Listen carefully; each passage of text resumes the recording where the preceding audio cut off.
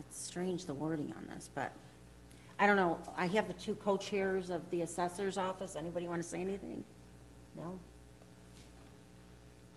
In the meantime, though, Dan, I did, I did have a conversation with Michael Milks today, and my understanding is that he was going to be sending another letter rescinding the action taken by that first, or on six twenty-eight, Okay, increasing. I- Hopefully, you can get your answers, but my understanding is that you're gonna need another one, that everything's going back the way it was before the June twenty-eighth. So it'd be- it'd be, he'd be setting the number back to the tentative number. Yes, yes, and he's signing off as that being the final, the, Okay, 'cause That is the legal Yes. thing to do. He- Because he the knows town that will now. lo- lose a lawsuit. ne- if we I, go- I agree, he, he thought he was doing And the it's- right thing, he and